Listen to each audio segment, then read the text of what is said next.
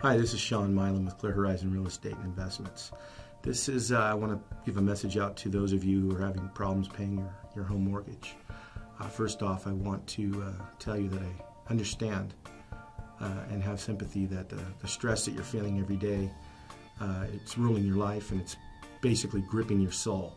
So I'm there, I feel the pain. I've done this, I've been involved with many, many people over the years in getting them to short sale and getting them down that yellow brick road that I call it, that's loaded with landmines and obstacles. I've learned how to jump over them. I've learned how to maneuver my way around them, and I get you to the land of Oz and get you down the road. Okay?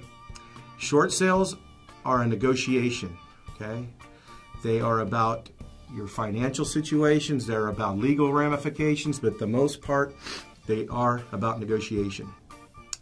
My turf is a negotiating table. Always has been, always will be. Okay? I've worked with loss mitigators at the banks for 14 years. I know how they think, I know their file workload, and I use that to our advantage, trust me. Okay? I do have a very experienced team of legal, lending, and title specialists that are a big part of my arsenal.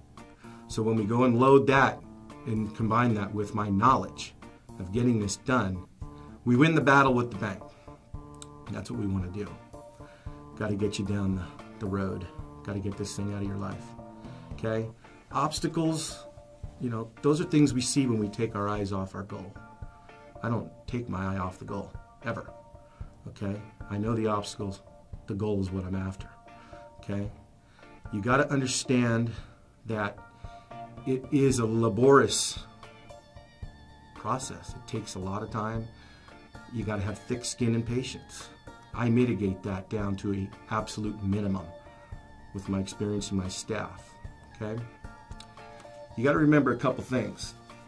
There's not a lot you can do. There's basically nothing you can do about the national economy. But there's a lot you can do about your own personal economy. And this, I would imagine, would be a, a pretty big thing for you to do for your personal economy. Okay? Lastly, I want to end by telling you, okay? You don't drown by falling in water. You drown by staying there. So let's get you out of the water. Okay? Give me a call for confidential, no hammering, no nothing. Just I'm totally laid back. I would love to talk to you in confidence. And let's see if you got a situation that I can get you out of. Okay?